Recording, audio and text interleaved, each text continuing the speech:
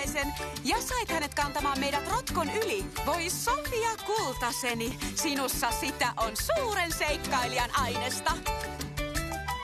Jos sä joudut joskus pulaan, etkä tiedä mitä teet, niin ei hätää, se selviää, säkeet laulun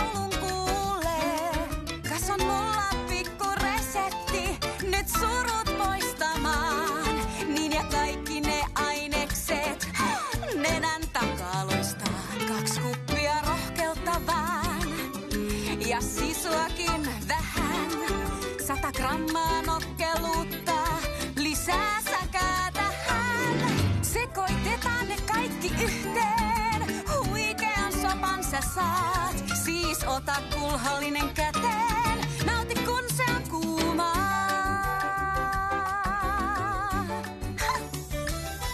Siispä puen mietintä myssyy, niin keksit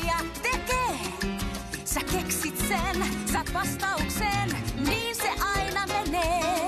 Koska haluamansa löytää voi, kun osaa etsiä. Ja sinulla on ainekset, on turha empiä. Jos löytäisimme Vompedon, saisimme omenat ehkä takaisin. Mutta se on jo mennyt. Miten se löytyisi? Hmm. Entä karttasi? Voisimme kysyä, minne Vompeto meni. Se on huisi idea. Äh, hokkus pokkus kartta. Näytä meille Vompeto.